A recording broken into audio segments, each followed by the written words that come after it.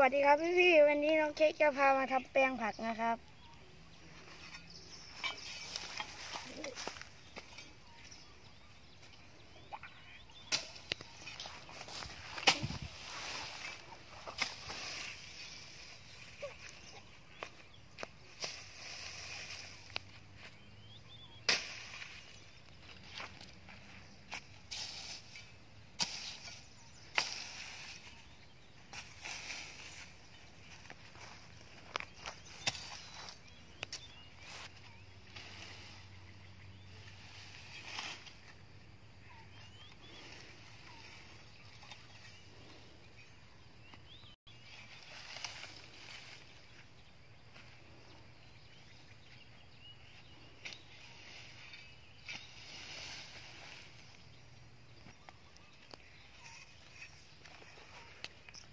ทำความสะอาดแปลงเสร็จแล้ว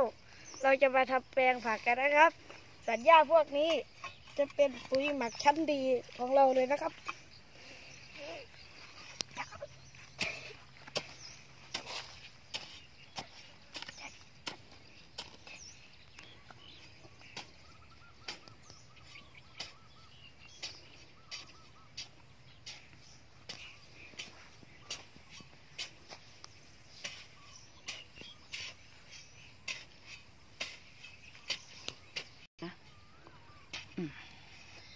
แปลงนี้เราจะปลูกแครอทกันนะครับพี่ๆแล้วเราจะเอาปุ๋ยคอกมาใส่แล้ววันพรุ่งนี้เราจะหยอดมเมล็ดได้เลย